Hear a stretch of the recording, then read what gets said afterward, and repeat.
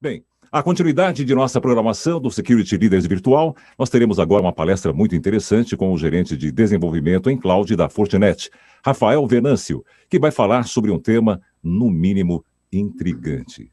Migrar para a nuvem com segurança em apenas três dias? Sim, é possível. Quem nos garante isso é o Rafael. Bom dia, Rafael, tudo bem?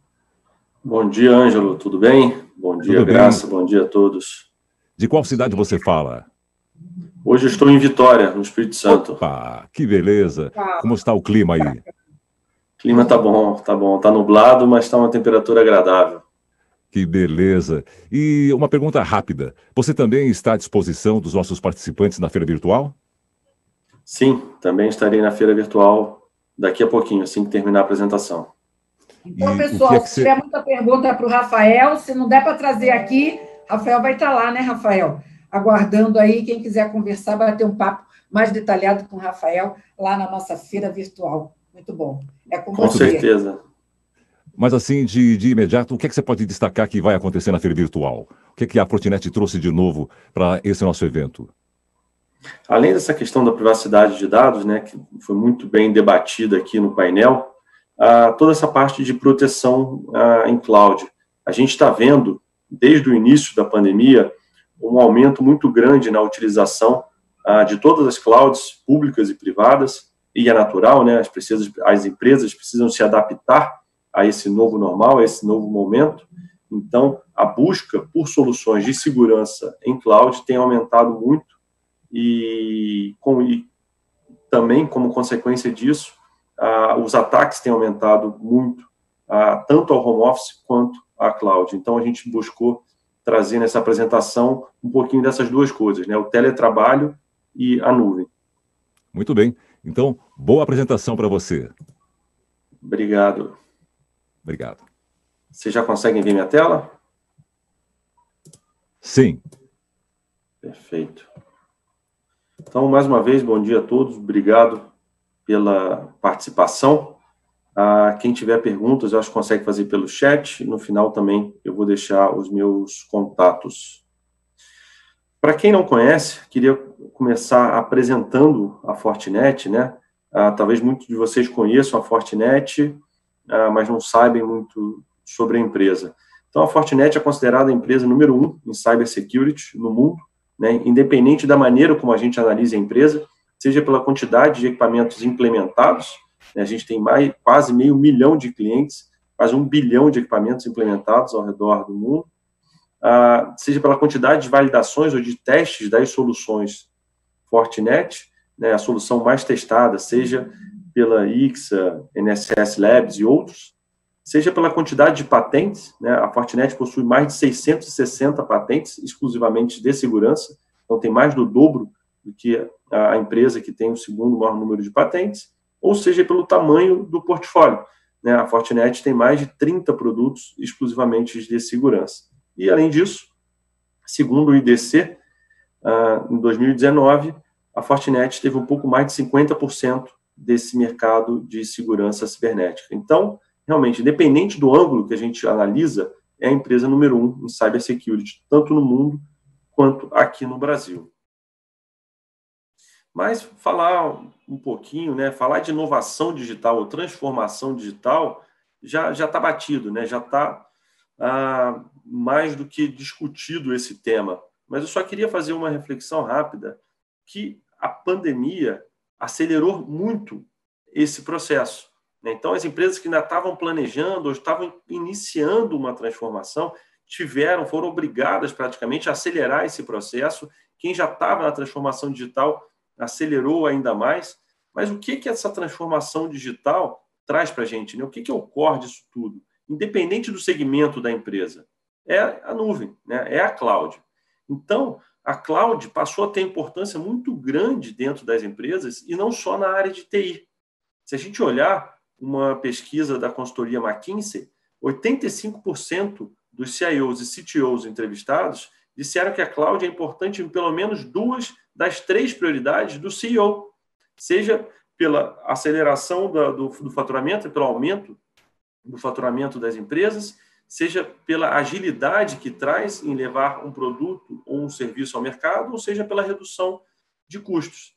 Então, a gente passa a perceber que a cloud tomou uma relevância a nível de diretoria, a, a mesmo ao C-level, e não só a TI. Então, a cloud é muito mais importante hoje do que era há seis meses, há um ano atrás, para a grande maioria das empresas. Mas, junto com os benefícios né, e as vantagens da cloud, ela também traz algumas complicações, né, ou alguns riscos que precisam ser pensados. O primeiro dele é que a superfície de ataque em nuvem ele aumenta. Então, além de proteger o ambiente on-premise, que a maioria das empresas estava habituada, também agora a gente precisa se preocupar em proteger o que está na nuvem. A, a nuvem, a gente sabe que a maioria das empresas utiliza mais de uma nuvem, ou mantém parte do seu ambiente legado e utiliza uma nuvem, ou utiliza mais de uma nuvem. E aí, por N razões, né? Tem uma nuvem A que te dá algumas plataformas, alguns benefícios de analytics, por exemplo, outras te dá benefícios de reconhecimento de voz, reconhecimento de imagem, enfim. Cada nuvem tem os seus diferenciais, tem os seus serviços. E por isso, as empresas acabam utilizando, cada área da empresa né, acaba utilizando uma nuvem ou outra. Então, a realidade é que a gente tem um ambiente multi-cloud.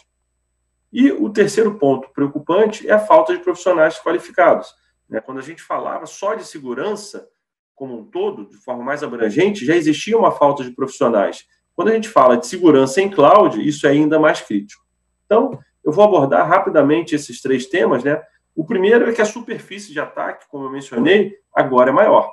Então, as empresas precisam se preocupar em proteger tanto a rede do que está na nuvem, quanto as aplicações que foram migradas ou já foram criadas em nuvem, também como a plataforma de, de nuvem. Então, eu preciso, além de proteger o que eu já me protegia tradicionalmente, né, e já tinha uma certa dificuldade, já era complexo, agora eu tenho essa nova superfície para me proteger. Isso é tão crítico que tem uma coach do Gartner, que eu também gosto, que está aqui do lado direito, onde o Gartner diz que até 2025, 99% das falhas de segurança em nuvem vão ser responsabilidade, vão ser culpa do cliente. Porque ainda existe aquele achismo de que ah, estou na nuvem, estou seguro. Né? E a gente sabe que não, a sua superfície de ataque aumentou, você está mais exposto. E a gente vai falar também um pouquinho mais à frente sobre isso. Ah, o segundo ponto né, de preocupação quando a gente fala em utilização de nuvem é o multi-cloud. Né? Essa é uma pesquisa da RightScale do ano passado, que ela diz que das empresas com mais de mil colaboradores, 84% delas utilizam uma estratégia multi-cloud, né? aquilo que eu comentei, tem, usam uma, uma nuvem ou mais e mantém o seu legado, parte do seu ambiente legado, do seu data center, além de utilizar a cloud. E além disso, é dinâmico. Por quê? As aplicações se movem de um lado para o outro. Ora, a aplicação está, por exemplo, dentro do seu data center, ora, você vai colocar ele numa nuvem pública. Um exemplo disso uma, uma aplicação pode ser desenvolvida dentro de casa e na hora de colocá-la em produção, por um termo de escalabilidade, flexibilidade, você coloque ela em produção numa nuvem pública.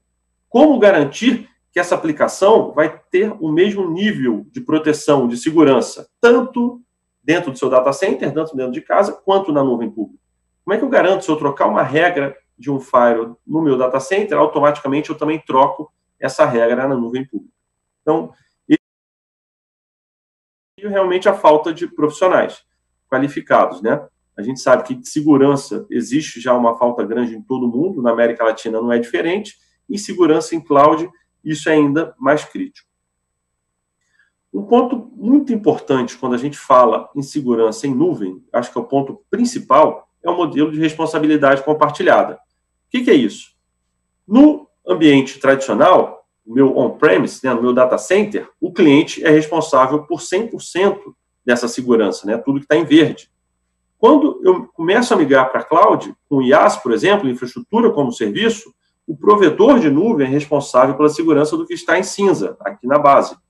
Mas o cliente continua sendo responsável por essa segurança que está em verde, ou seja, segurança do sistema operacional, de containers, aplicações, os dados, controle de acesso, visibilidade e por aí vai. Ou seja, a maior parte da responsabilidade de segurança na nuvem continua sendo dos clientes.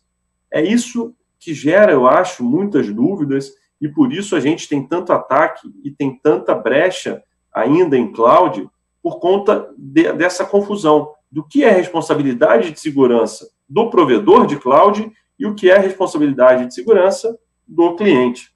E aí, para PaaS ou SaaS, ah, o cliente continua tendo responsabilidade, né? Mesmo no SaaS, né, onde o cliente está consumindo apenas uma aplicação como serviço, uma aplicação online, ele segue tendo uma parcela de responsabilidade.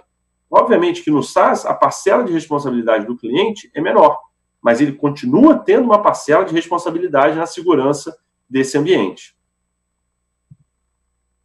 E aí, como que a Fortinet, então, se estruturou, né? Como é que a gente entende? Qual é a visão da Fortinet para a segurança em cloud? Primeiro, aqui na parte de cima, independente do momento que o cliente esteja nessa jornada para a nuvem, a Fortinet vai conseguir atender. Seja o cliente que está migrando ou expandindo para a nuvem, seja o cliente construindo desde o zero uma aplicação em nuvem, né? Muitas vezes já utilizando container Kubernetes, ou construindo uma empresa, muitas vezes, já desde o zero em cloud. Ou, um terceiro momento dessa jornada, o cliente que está apenas consumindo software como serviço. Então, independente desse momento, a Fortinet, com uma estratégia de três pilares, né, pegar o portfólio e dividir nos três pilares, primeiro pilar de segurança de rede, o segundo pilar, segurança de aplicação, e o terceiro pilar de visibilidade e controle, a gente consegue endereçar e apoiar o cliente, independente do momento ou da jornada que ele esteja. E para garantir essa segurança fim a fim, é fundamental uma integração nativa com todos os provedores de nuvem. Como a gente viu no início, os clientes utilizam um ambiente multi-cloud, multi-nuvem. Então, é preciso ter uma integração nativa com todos os provedores de nuvem pública e privada. Olhando com um pouquinho mais de detalhe, então, esse approach que a Fortinet tem de três pilares para a segurança em cloud. O primeiro pilar, segurança de rede. O que, é isso? Da mesma maneira que no meu data center eu tinha a segmentação do ambiente, eu preciso fazer isso no meu ambiente de cloud. Eu tinha o meu firewall, eu tinha o meu IPS, eu tinha o controle da aplicação. Eu preciso fazer isso também na nuvem, né? garantir uma conexão segura, ter uma visibilidade fim a fim desse tráfego. Esse seria o primeiro pilar. O segundo pilar é o pilar de segurança da aplicação. O que, que é isso? É garantir a proteção da aplicação, camada 6, 7. Né? Então, mesmo as aplicações mais modernas, mais novas, já desenvolvidas utilizando container, Kubernetes, eu preciso garantir essa proteção. Assim como a proteção das APIs. A gente sabe que em cloud é muito comum a utilização das APIs, né, esses conectores. Então, eu preciso também proteger as APIs. Enfim, toda essa proteção avançada, olhando as camadas mais altas, ah, mesmo ataques desconhecidos, ataques de dia zero, a gente faz isso nessa segunda camada, na camada de segurança de aplicação, que é super importante, né? Se a gente parar para analisar friamente, onde está o dinheiro das empresas, onde está a informação confidencial das empresas, onde está o diferencial das empresas, cada vez mais na aplicação. Então, esse pilar de segurança, de proteção da aplicação é muito importante e crítico. E o terceiro e último pilar é o pilar de segurança da plataforma, né? ou de visibilidade e controle. Aqui que a gente vai validar se as configurações em cloud estão utilizando as melhores práticas, ou se, por exemplo, o cliente deixou um bucket S3 público, que deveria ser privado. É aqui que a gente vai monitorar a atividade das contas, o que, que os usuários estão fazendo, o que, que os, os administradores, né, que têm acesso privilegiado, estão fazendo, que tipo de configuração eles estão trocando. Então, toda essa análise de tráfego é nessa camada que a gente vai monitorar e proteger, assim como gerar relatórios padronizados ou mesmo customizados de acordo com a vertical ou necessidade do cliente e toda a parte de compliance. Então, tudo isso é feito nessa terceira, nesse terceiro pilar, né, de, de proteção da plataforma ou visibilidade e controle. E, naturalmente, eu preciso de uma ferramenta que me permita automatizar e orquestrar tudo isso. Né? Lembre-se que a maioria dos clientes segue tendo um legado. Eles continuam tendo um data center com algumas aplicações, alguns workloads ali, e agora utilizando uma ou mais nuvens. Como é que eu faço para garantir a mesma postura de segurança em todo o meu ambiente, híbrido ou multi-cloud? Né? Como é que eu faço para garantir se eu precisar aplicar um patch num, num AF que esteja na nuvem B, eu também aplique automaticamente no meu data center? Como é que eu garanto essas mesmas regras e política em todo esse ambiente? Eu preciso de uma ferramenta única que te dê essa visão e faça essa gestão automatizada, orquestrada de todo o ambiente.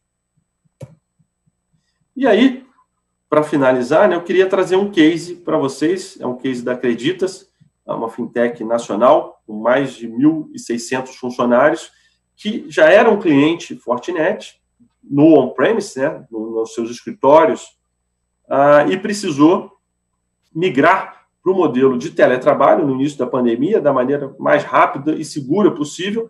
E nós, da Fortinet, junto com a equipe Creditas, conseguimos fazer toda essa migração para o teletrabalho, utilizando a AWS, em apenas três dias.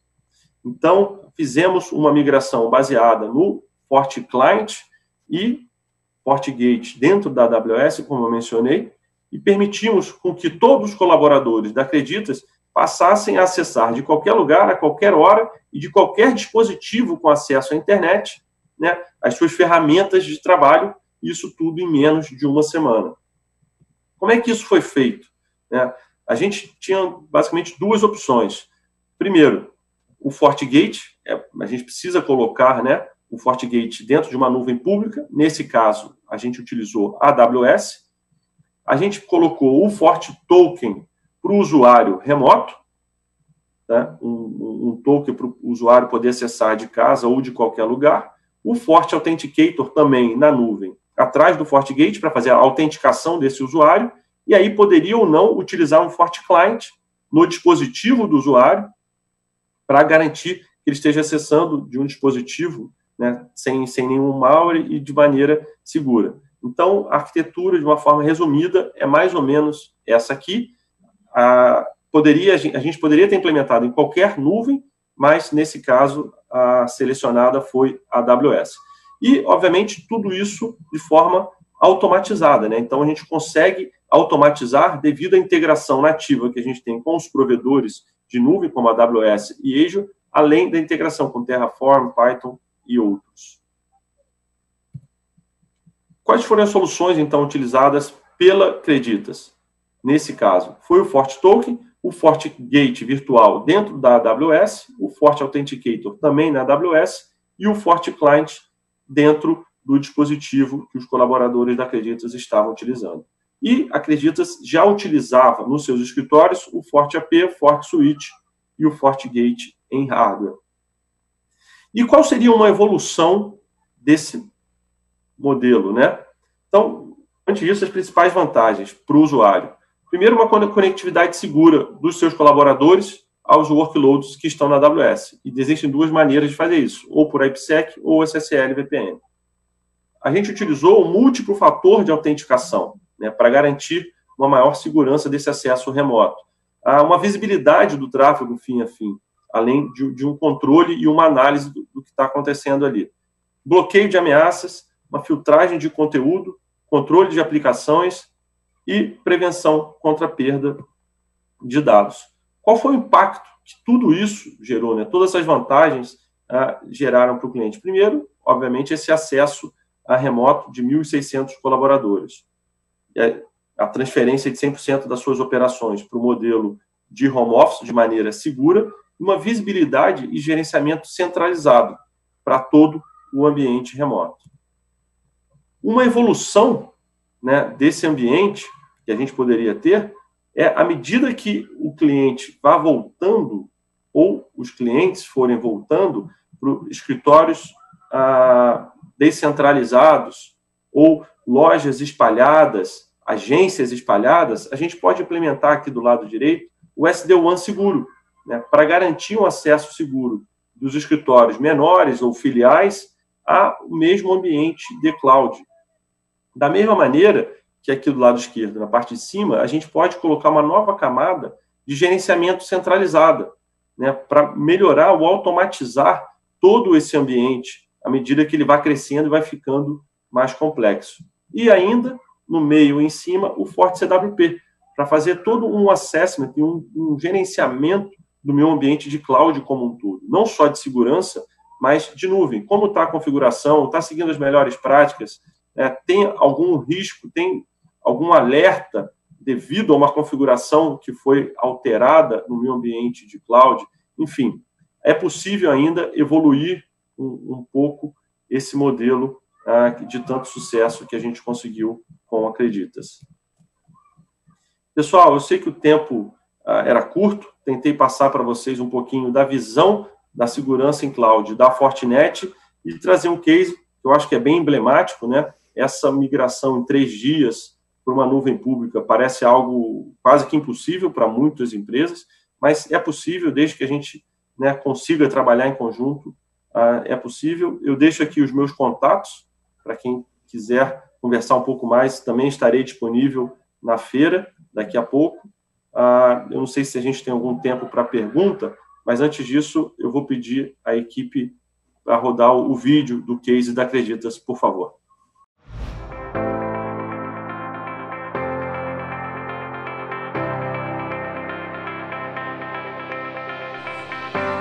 Sou arquiteto de rede na Acreditas. Somos uma fintech com 1.600 tripulantes, com atuação centrada em empréstimos com garantia.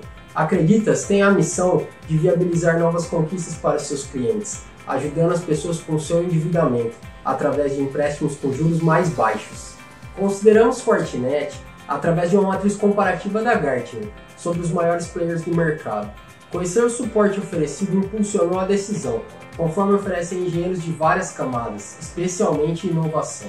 Essa versatilidade é um grande atrativo.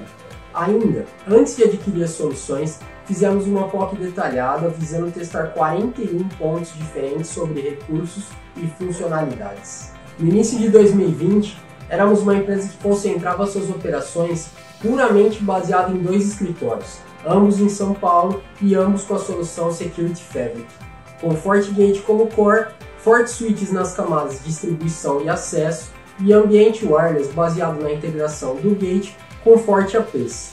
Usamos recursos de SD-WAN nas saídas de internet e já éramos baseados nesse momento em nuvem para hospedar serviços e recursos. Essa proximidade de pessoas no local proporciona uma facilidade para resolver demandas. Em março de 2020, nos deparamos com o cenário dessa necessidade de distanciamento social. E com isso veio um novo desafio: migrar o nosso modelo de trabalho para operações remotas, entregar acessos para todos os tripulantes. Nós expandimos as soluções da Fortinet em nuvem para alcançar 100% de trabalho remoto. E isso aconteceu quase que da noite para o dia. Implementamos o Forte Client para todos os tripulantes, conectando-se no Gate e autenticando no FAC, ambos em nuvem e em HA. Agora, os tripulantes se conectam aos recursos corporativos da Acreditas de qualquer lugar que estejam, por qualquer link de internet. É um case de sucesso que exibimos com orgulho. Realizamos a entrega com o apoio da Fortinet. Acreditas continua ajudando os brasileiros a viabilizar as suas conquistas.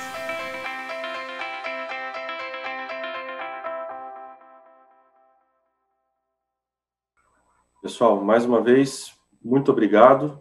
Ah, se alguém tiver alguma dúvida, estaria à disposição na feira e tem os meus contatos aí também. Bom, é isso aí, Rafael Venâncio. Obrigado pela participação, parabéns aí também a você, a Fortinet, muito obrigado pela, pela parceria de sempre.